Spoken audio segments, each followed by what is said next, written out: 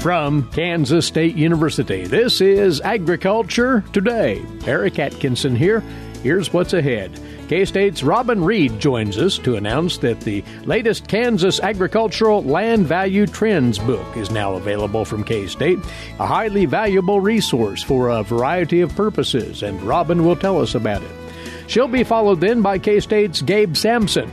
Gabe going over the findings of his new study of biofuels production expansion in Kansas and the ensuing impact on land values and groundwater usage for crop production in the areas those biofuels plants are operating. And on this week's Wildlife Management segment, K State's Charlie Lee reviews a study of grassland snake activity following a prescribed pasture burn. All this and more straight ahead on Agriculture Today. A social distancing tip. While the CDC urges you to avoid close contact, like hugging or shaking hands, there are other non physical ways to say hello. Wave, wink, use sign language, salute, smile, give the peace sign, throw up an air high five, do jazz hands. Remember, stay a minimum of six feet or two arms length away from others and stay home if you can. For more info, visit coronavirus.gov. Let's all do our part because we're all hashtag alone together. Brought to you by the Ad Council. Thanks for being along with us for another Agriculture Today. We'll pass along to you during this segment what is always eagerly awaited information out of the Agricultural Economics Department at K State. It's the latest edition of the Kansas Land Values Report. And joining us now is the individual who is largely responsible for making this happen, Robin Reid, agricultural economist with K State Research and Extension. For obvious reasons, Robin, land value information is highly valued by agricultural producers and a whole lot of other folks out there. Yeah, obviously, this affects a lot of things in an agriculture operation. You know, expanding your operation and buying land is the obvious one, but a lot of it is also with credit. So this makes up most of the net worth on a farming operation is the value of the agricultural land. So obtaining your operating loan and other securities with your operation depends on your land values. So, what we do every year, and this is actually the third annual time we put out this comprehensive book. It's a 70 pages, 72 pages this year. In fact, we take land sales data from the Property Valuation Department out of Topeka, and we package that in a way to be most meaningful to those in the agricultural community that want to look at these values. So, again, this is the 2020 data. So, this is last year, and I want to remind listeners just the different things that we experienced last year and how that translates in, into these land values. Yeah. So, 2020 was one of the most volatile years in agriculture that we've seen in a long time. And that was earlier in the years the pandemic hit. We saw commodity prices really decline. We saw some large government payments, CFAP 1 and CFAP 2, would probably be familiar to most of everyone out there. And then by the end of the year, when we got to harvest, we had strengthening exports to China, and all of a sudden we had our commodity prices coming up to levels that we haven't seen in six years or more.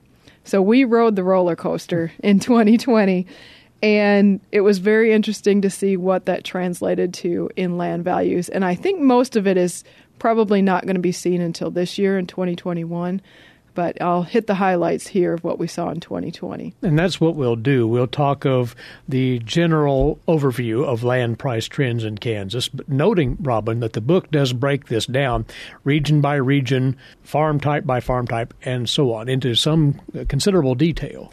Yeah, so what we do is look at nine crop reporting districts in Kansas, and that's just to match what National Ag Statistics Service does or any of the data that you see on farmland, typically using these same nine crop reporting districts. And then we also look at county level values if we have enough sales to do so. And the way I look at the land value is three different types irrigated cropland, non irrigated cropland, and then pasture and hay ground I combine into one just so we have more observations. But it's important to note I'm really trying to capture the ag land value. So I only look at parcels that are over 70 acres in size, assuming those are selling for ag land. And I try to take out any extreme outliers if we have some really low values as a family to family sale or some really extremely high values as such as going to development or something like that. So I try to clean this down to just ag value. The broad trend, as you look at the state in its entirety, then, were agricultural land values up, down, constant? from 2019 to 2020? Sure. So, to start out with, I'll say 2020, when we look at the volume of land that's sold, was a pretty average year. So, when we had a run up in commodity prices, we had land sales that were roughly 500,000 acres per year in ag land. Then we saw with the downturn in the farm economy, we saw a lot less land on the market. We were down to selling oh, 315, 330,000 acres per year. So again, 2020, as I said, was probably about an average year, and that's about 420,000 ag acres sold across the state. So that's roughly equal to the five year average that we've seen. Now, the trends in there are interesting to evaluate, and I want to just put perspective on how we look at this at the state level. Most of the ag land that is sold is heavily influenced in the Southwest.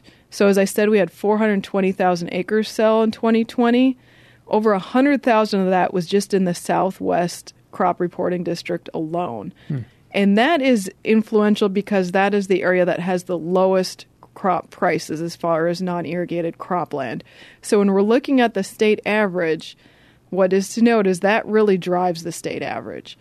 The Northeast Crop Reporting District is some of our highest land values, obviously. Brown, Doniphan, Atchison County, some of our highest land values in the state. But a very small volume of land is sold in that crop reporting district. Last year, for that whole Northeast district, that was roughly 20,000 acres. So the state average, again, is very influenced by those different regions and their prices. The pasture and hay ground, on the other hand, is heavily influenced in east central and southeast areas where you have the Flint Hills region. So when I'm showing these average state values, it's interesting that non irrigated cropland and hay and pasture ground aren't that much different. And that's just because of that regional influence on those values. So, with that as kind of a precursor, let's dive into the numbers here. So, non irrigated cropland across the state last year sold for 2,000. $32 on average across the state. This is down not even 4% from the five year average. So, my summary of 2020 for non irrigated cropland is we are remaining flat. We saw a little dip in 2019, but we are right now back up to what we saw in 2017 and 18. So, again, we had so much volatility last year, we didn't see decreasing prices. We remain flat, but I anticipate 2021 we will see those increasing. For pasture and hay ground, the average across the state was $1,906. And this is a little higher, actually, than 2019 and 2018. So we are approaching levels that we saw between 2016 and 2017 as far as that pasture and hay ground average. Irrigated cropland is a lot more variable. We saw our peak back in 2015. We saw a drop after that, and then it's kind of been bouncing around ever since. So, in summary, I'd say that's flat too. There's just a lot more volatility because there's not near as much irrigated ground on the market. But at the state level in 2020, that averaged $3,247. So you throw all of that into one pot, so to say, Robin. What does this suggest about land value trends in Kansas? Seems like stability is the uh, descriptive of the day here. Yes, I would agree, Eric. You know, like I said, we had a lot of volatility in 2020, but we ended the year strong. And that translated into pretty flat or holding steady land values. Now, what I anticipate going forward in 2021 is we are going to see some higher land values. We've been in a fairly depressed market, you know, holding steadier than we expected it to through this downturn in the ag economy. But now we have commodity prices increasing. We had another round of $20 per acre payments that were announced about a month ago and you know things are looking up this year if we can have decent yields. I know we have some dry conditions still persisting in parts of the state, but that will translate into higher land values and probably some higher cash rents as well. That tends to be what happens when we have extra money in the ag economy is we have inflated land values, which is good for farmers like I started off with as far as credit conditions. We want our land value increasing that builds our equity. But for those that are wanting to expand or purchase some land, obviously that's going to be a little more expensive going on into the future here. Again, the numbers that you shared were the 30,000 foot view. Producers and anybody else who would like to know more about what's happening more to their locale, they need to get the book either online or the hard copy coming out soon and dig into the numbers and the enterprises that they're interested in and uh, compare apples to apples. Yeah, so I mentioned this is a 72 page book, and that's all not just talking about the state trends. I try to break this down to as close to home as I can get it, and that's at the county level for these three different types of land irrigated, dry land, and pasture and hay ground. So when you get the book, you can look up crop reporting district summaries, you can look county level summaries, and that's really the value in this book. So you can get it now by going on agmanager.info and there's a section on farm management that you'll find land buying and valuing. Otherwise, all of our 105 county extension offices will be getting print copies of the book on a limited basis, but they will have quite a few that they can hand out, but that'll be probably a few more weeks yet. So I would encourage everyone now to go onto Ag Manager and take a look at that web version.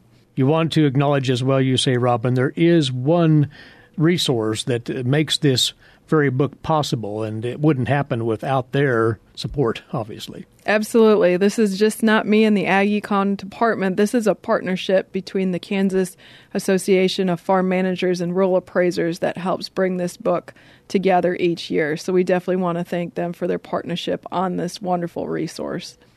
It takes a lot to pull all of this together, so Robin, congratulations for that. It's a job well done, and thanks again for telling us about it. Thank you, Eric.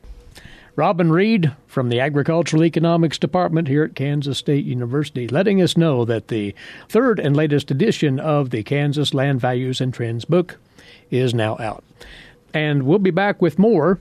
You're listening to Agriculture Today. With the shortage of primary care physicians, especially in rural areas, health education and disease prevention are vital. K State research and extension programs address quality of life, personal development, and health behaviors across all life stages of all social economic groups. To learn more about health education, one of K State Research and Extension's five grand challenges, visit www.ksre.ksu.edu. We're back now on Agriculture Today. Our guest on this part of the broadcast has just completed an analysis with help from colleagues answering some key and important questions relevant to Kansas agriculture to be certain, and he is from the Agricultural Economics Department here at Kansas State University. Gabe Sampson. Gabe, what you looked at here was the expansion in bioenergy production and what that suggests about irrigation usage and land values, tying this back to the state of Kansas and our agricultural conditions here. I'm going to ask you initially what's the motivation behind this work? Yeah, a couple questions. You know, we, we've seen a large uptick in ethanol capacity and the number of grain based ethanol plants in Kansas uh, in the last 20 years. We've gone from about three ethanol plants to, to 12 ethanol plants and a a statewide refining capacity of about 40 million gallons per year up to over 500 million gallons per year. Corn is the staple fuel stock for ethanol production in Kansas, and corn is also the most water intensive crop in Kansas. And so, you know, the, the two questions we're interested in is has the ethanol market growth in Kansas affected irrigation water use through incentivizing additional irrigated corn acreage? And then what has been the effect on irrigated and non irrigated land values? We'll take those separately, but how do you get at, and we'll start with that irrigation side and making that link between this growing bioenergy output in Kansas and corn production and then water used for that corn production? Yeah, so on the irrigation side, we have a pretty unique data set. We have data on about 20 3,000 irrigated fields in Kansas from uh, 2003 to 2017.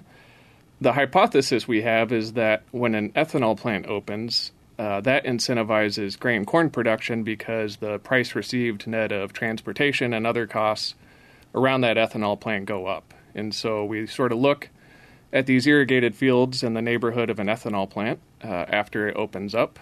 And we pretty much compare irrigation water use before and after the ethanol plant is opened. And when you look at that, the geographical range, the proximity to the plant, what would that be typically? So the the neighborhood that we define is 50 kilometers, so that's about 30 miles. Uh, this neighborhood is a neighborhood definition that's been used in the literature, and it's one that we adopt in order to increment off the literature, and it's supported by these land use studies that have been published to try and connect changes in land use uh, before and after an ethanol plant opens. So, did you find a definitive relationship between the debut and the operation of an ethanol plant and the volume of corn production in that roughly 30 mile radius? Yeah, so we find pretty clear evidence that irrigation water use does increase for a field when an ethanol plant opens up.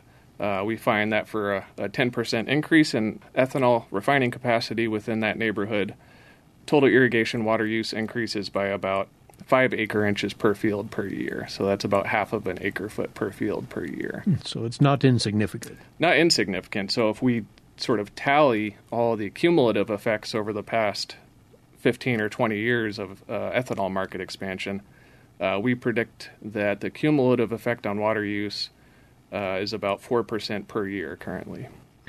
And then you relate into it the crop mix might change as well on that acreage, which is even more far reaching then.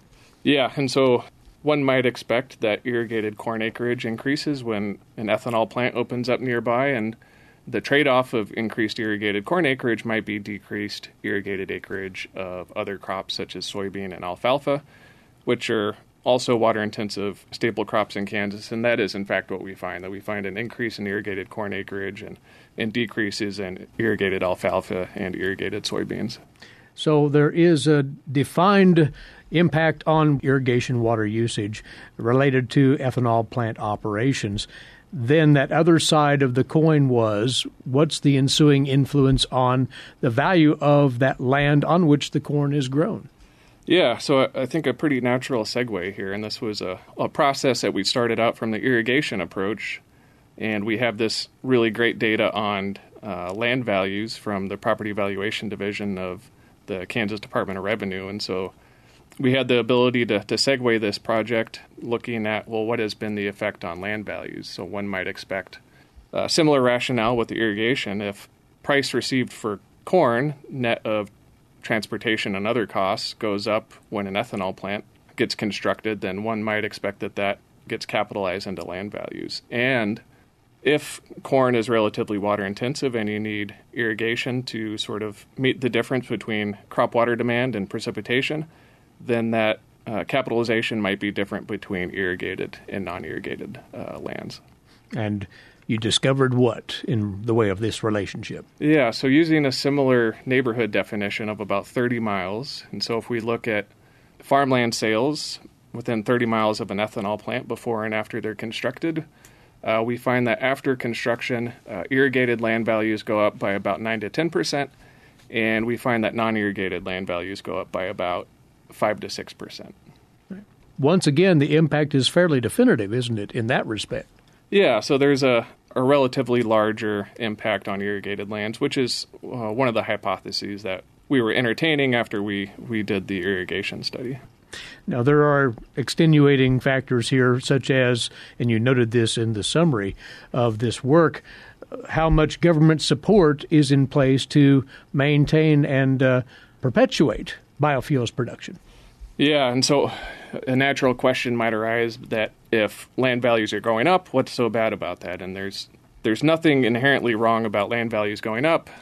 You know, two points I would make is number one, the value of land is oftentimes the largest component of a producer's wealth, and so any factor that is affecting land values is important from a policy perspective because it's uh, affecting uh, producer wealth.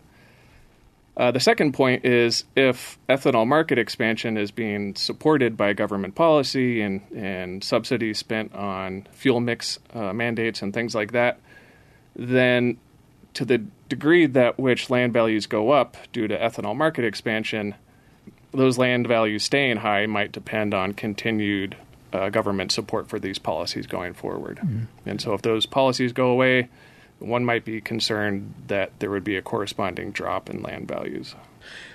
How do you hope that this information will be used, Gabe, as we think about the future of biofuels production, of possible further expansion? You would expect, if that were to be the case, that these trends would hold true moving forward, wouldn't they? Yeah, so you know, one thing that's unique about Kansas is it's an arid state, and especially as you go west. So irrigation is generally uh, an important part of grain corn production in western Kansas. And so, if we continue to see ethanol market expansion in these arid and semi arid states, there might be concerns about added stress placed on socially valuable groundwater stocks. And that I think is something that we need to take into consideration when we're evaluating these bioenergy policies. And could it not as well be applicable to water use policy in Kansas because it all meshes together, really. Certainly, I think you know taking into consideration in Kansas and elsewhere, you know, one might draw similar conclusions in in Colorado or New Mexico, uh, other uh, western and midwestern corn belt states. You know, can we design water conservation policies that might act to mitigate some of these unexpected consequences that we see from ethanol market expansion and, and bioenergy policies? You say that this work has garnered interest on uh, several levels already, including some of the uh, groundwater management districts in the state of Kansas. Very intrigued by what you've come up with. Is there some place that other parties could go to learn more about your research here and what it says? So these have yet to be published. We're still in the process of publishing these. The irrigation study has been published as a conference paper uh, with former student Amer Al Sudani and uh, fellow faculty member Jason Bergtold. And then the uh, land value study is a paper we'll be presenting at a, a, conference this summer with my grad student Grant Gardner. And so we don't yet have a publicly accessible uh, version of that paper, but we will this summer. And you note that the land value data may be updated here because that's been refreshed just recently here. Yeah, so this this data is the most recent land values data we have is from 2017, and that's because we started this process, you know, last fall, and and so 2018, 2019 land values data would it would be interesting to update this analysis to include that. Well, these are insightful findings on the influences of bioenergy production, and uh, specifically as far as the impact on irrigated crop production supporting those biofuel plants, and then how that then reflects and ripples into land values on that acreage. So, quite a piece of work here, and we appreciate you, Gabe, telling us about your research. Good luck with further refining it as need be. Thank you. And thank you for coming over and telling us about it right here. Anytime. Gabe Sampson is an agricultural economist here at Kansas State University and one of the co authors of this new analysis Irrigation and Land Value Response to Expanded Ethanol Production, pertaining to the potential for that expansion continuing here in Kansas. We'll be back with more for you on this Agriculture Today. Stay with us.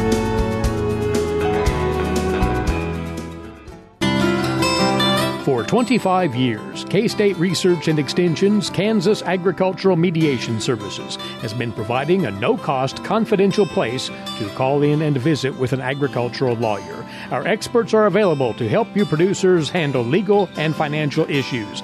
Explore your options and generate solutions. Call us at 800 321 3276 or visit us online. Kansas Agricultural Mediation Services. Broadcasting from the campus of Kansas State University, this is Agriculture Today. Eric Atkinson with you as we move on now to today's agricultural news headlines and the latest Kansas crop progress and condition report from the USDA reads like this.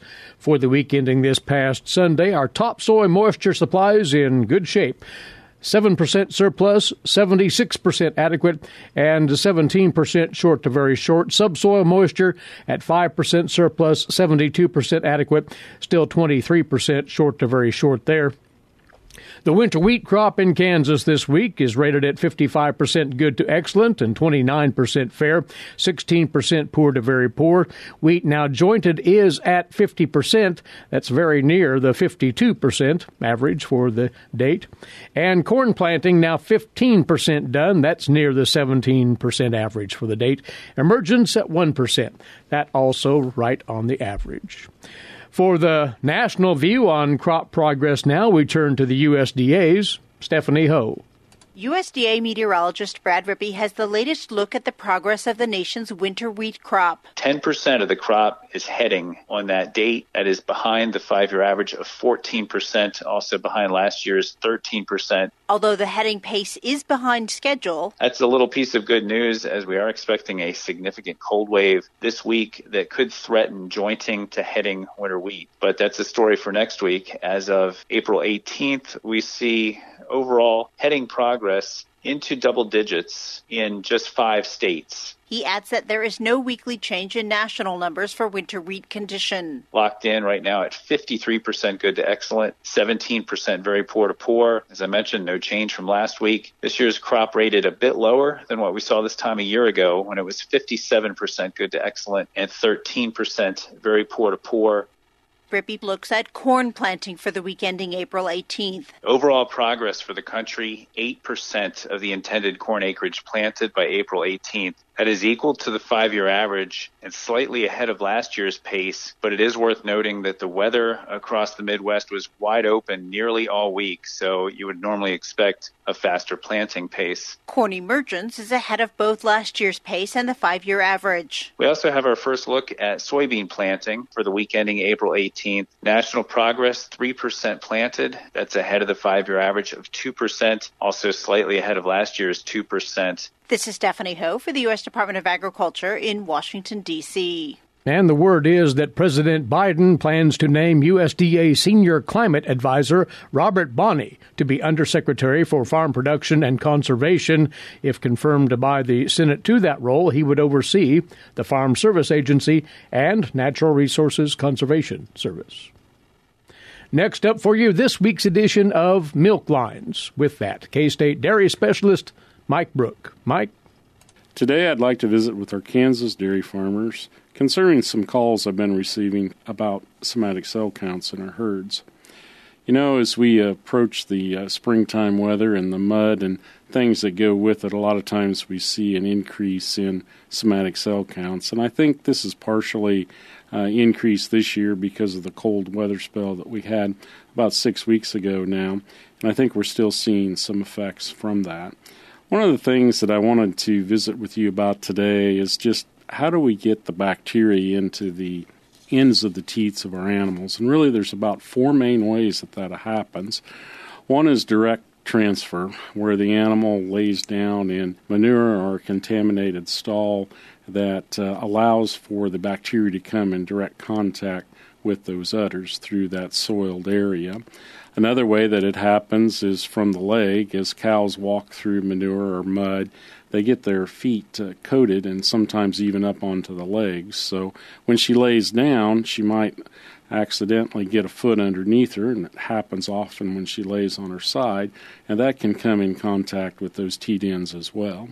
We can also have splash transfer issues where animals are walking through a more of a liquid uh, slurry and that tends to splash upward toward the udder, and sometimes that will come in contact with the ends of the teat. And then the final way that we see it happen is with tail transfer, and sometimes this is actually fairly common as we look at freestall housing. If the tail lays over into the alley as the cow is laying down may come in contact with some manure and, and water that might be there in the alley. When the cow stands up, now the tail is wet, and that wetness also contains bacteria, and as she swishes her tail around, may come in contact with some of the teats, particularly the rear teats.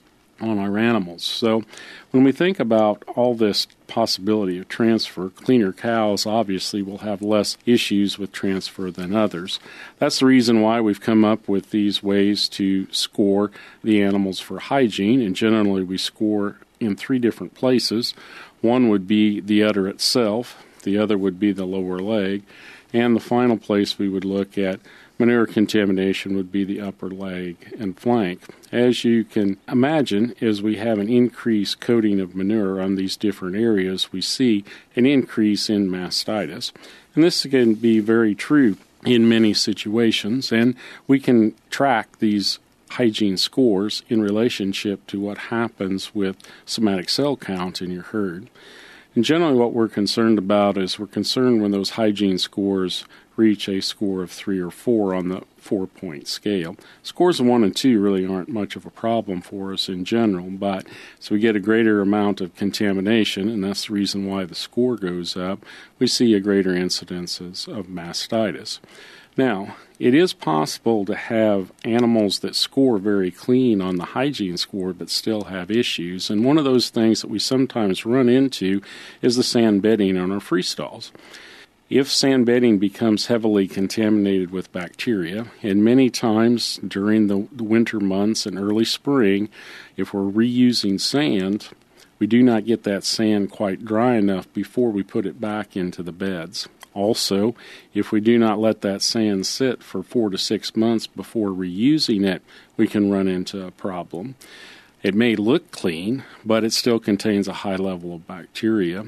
In some cases, where farms are experiencing higher somatic cell counts and the animals seem to be clean, you might want to check the bacteria count we actually have in the back of those stalls might be necessary in some of those cases to come in, remove some of the sand from the back of the stalls, and replace it with new sand that has never been reused.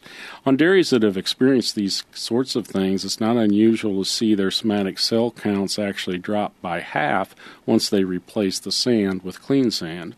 So, this is Mike Brouk with K State Research and Extension, encouraging our dairy farmers to maybe look a little bit beyond just the cold weather that we've had as they start to evaluate what they might be seeing currently in somatic cell counts on their dairy herds. Thanks, Mike. And this is Agriculture Today. Burning prairie grass is essential for Flint Hills ranchers. Following grazing and burning best practices can ensure that the prairie remains intact while not smoking out downwind neighbors. The Kansas Flint Hills Smoke Management Plan helps guide prescribed burning on prairie land. To learn more, visit www.ksfire.org. Again, that's www.ksfire.org. Closing out this agriculture today, once again, we visit with former K State wildlife specialist Charlie Lee. Charlie's along each Tuesday to talk about yet another aspect of wildlife management. Well, Charlie, we are on the back end of the prescribed burning season here in Kansas. It's been going on for a few weeks now, and we'll conclude here shortly. You have information from a study on the effects of prescribed pasture burning on snake activity. And uh, we've seen studies of this ilk for various species in the past, haven't we? Yes, there's been studies looking at reptile and amphibian responses to burns in woodlands or forested areas much more frequently than I see information on the effects of burning on snakes in prairie situations. So we know that in those woodland situations, uh, the effects really depend upon the changes to the habitat. And in those wooded areas, when the fire is of a high enough uh, temperature, and when the fire is severe enough to reduce canopy cover, that it can affect reptile and amphibian populations.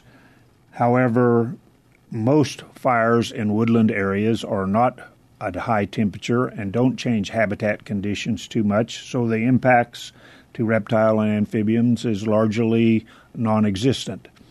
However, what's been done in prairie situations shows that fire effects do impact arthropod uh, numbers, primarily grasshoppers, We know that fire changes the abundance of small mammals. It often increases small mammal populations. We know it can have either a negative or a positive impact on birds.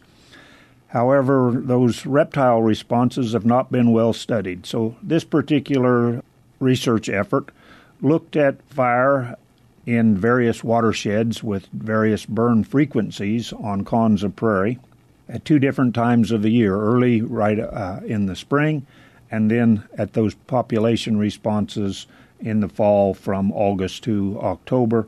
And the spring activity uh, uh was done from May to June. Some of the particulars here, then, how did they gauge those responses exactly? Well, they trapped snakes using four different drift fence arrays on each watershed. The watersheds were fairly similar, fairly close together.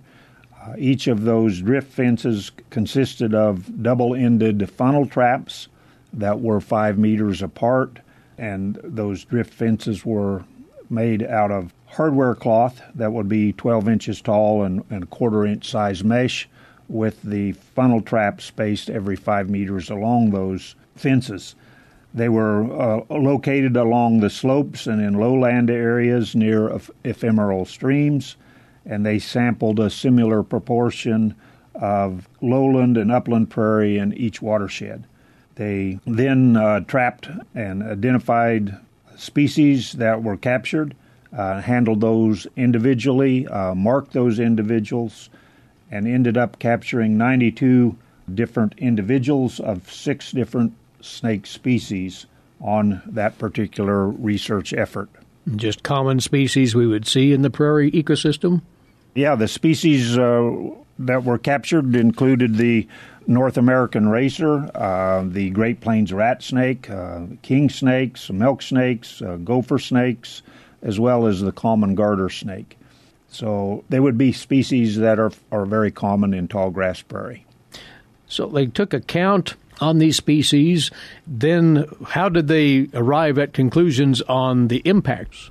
Well, they they looked at the number of species and then compared with the with statistical analysis of different snakes from different type watersheds, those that were burned uh, more frequently than others.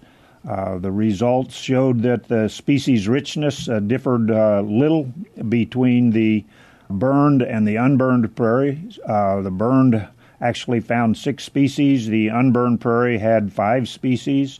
They captured fewer snakes on the recently burned prairie, uh, which was only 32, than on the unburned prairie, where there were captured 60.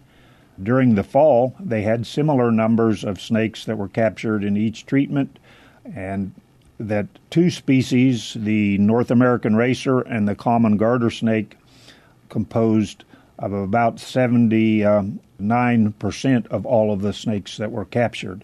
The North American racer and the common garter snake were captured more frequently in unburned than in recently burned prairie during the spring.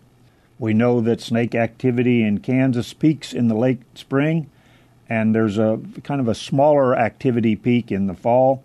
They thought perhaps that there's still snakes that would be in their hibernaculums at the time of many of fires that are in early spring, and perhaps that would account for maybe some of the lower numbers of species being captured than they had anticipated. In the main, though, the impact of burning not really detrimental to the long term ability of these snake species to thrive? Well, this uh, research article suggests that snakes uh, can have a short term negative response to spring burning. However, they can r- quickly reappear on burned areas of prairie when there is areas that are unburned immediately adjacent so that they s- suggest that these unburned refugia areas are an important element for prescribed burns uh, if we're concerned about snake populations. And again, this research was conducted on the Konza Prairie, aligned with Kansas State University just outside of Manhattan, looking at prescribed burning, how it influences snake activity Charlie, we appreciate the look at this today. Many thanks. He's Charlie Lee, longtime wildlife specialist with K State Research and Extension. Before we part today, want to mention one more time the Kansas Range Youth Camp coming up this summer, June the 15th through the 18th. Bringing it up here because this camp does feature a rangeland wildlife management education component.